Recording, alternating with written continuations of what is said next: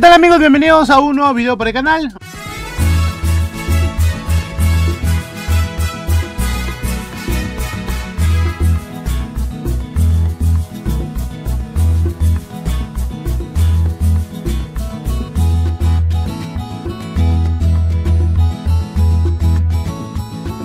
¿Qué tal amigos? Bienvenidos a un nuevo video para el canal. Vamos con noticias que surgieron hoy por la tarde y también por la noche. Hay que resaltar que son noticias importantes, así que no olvides suscribirte al canal, dejar tu like, comentar qué tal te parecerá el video y bueno, compartirlo con tus amigos también.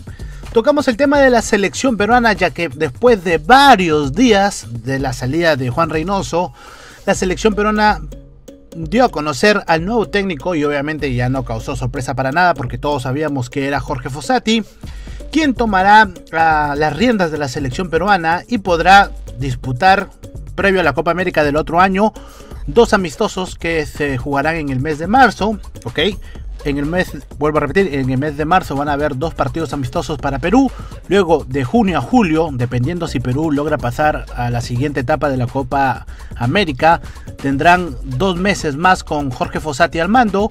Y a partir de, de julio, que ya terminaría la Copa América, las eliminatorias inician, si no me equivoco, en el mes de septiembre.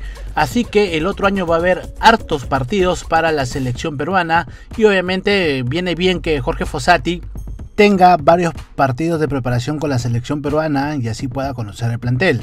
También tengo que resaltar que en la final contra Alianza Lima, en los dos partidos, eh, dio una cátedra al ex técnico de Alianza, La Riera, el uruguayo, dice que, bueno, ya se fue de Alianza y esperemos que ahorita esté en el news. Si, si quieren saber más información sobre él, lo pueden encontrar en mi Twitter. Muy bien, por aquí te dejaré también los últimos técnicos de la selección peruana para que lo puedas apreciar. Hay que resaltar que creo que a los que peor, peor les fue, eh, diría que fue a Chemo del Solar, ¿ok?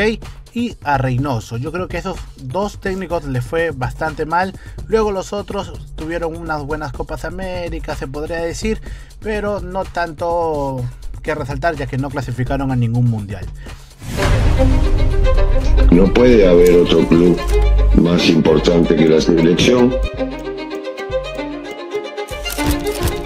Y bueno, empezar esta otra etapa que ahora abarca no solamente a un club, sino a todo el Perú y, poderlo hacer con la máxima energía, como siempre, poniendo el máximo de cada uno de nosotros, eh, ojalá para hacer feliz a todo el Perú. Pues yo creo que se puede. Muy bien, gente.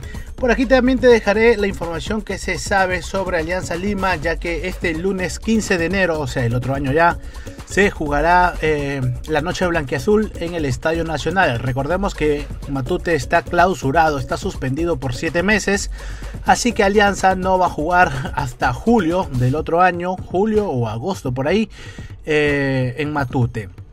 Muy bien gente, sigamos con las noticias ya que han habido muchas se dio a conocer que el Independiente de Argentina jugará un amistoso contra Cristal, ¿ok? El 7 de enero. Hay que recordarles que Carlos Tevez es el que dirige a Independiente y vamos obviamente a disfrutar ese partido el 7 de enero contra Sporting Cristal. El día de hoy, según la revista inglesa 442, la camiseta de Perú en el Mundial del 78 fue ubicado en el puesto 29 de las mejores camisetas de la historia del fútbol. El primer lugar se la llevó la camiseta de Holanda, que la verdad que está muy muy bonita. Otro amistoso que tenemos que resaltar es este 20 de enero. Se jugará en Arequipa la tarde rojinegra, donde el Melgar jugará contra el Club Bolívar de Bolivia, obviamente. Cienciano el día de hoy dio a conocer su nuevo fichaje que es Alexander Lecaros, volante muy hábil que esperemos que pueda tener minutos en la liga peruana. Hay que reconocer que estuvo en la liga brasileña, si mal no recuerdan, estuvo en el Botafogo, pero eh, no se pudo quedar, no pudo demostrar lo que valía, lamentablemente. Antes de irme se hizo oficial el fichaje de Piero Quispe con el Pumas, logró pasar los exámenes médicos y bueno, así de esta manera lo presentaron en el cuadro mexicano. La verdad que resaltan que es la joya sudamericana, que viene siendo campeón del torneo peruano, que también ha sido elegido la figura del campeonato, el mejor de la liga. Entonces yo creo que los elogios tienen que estar y bueno, incluso un poco más.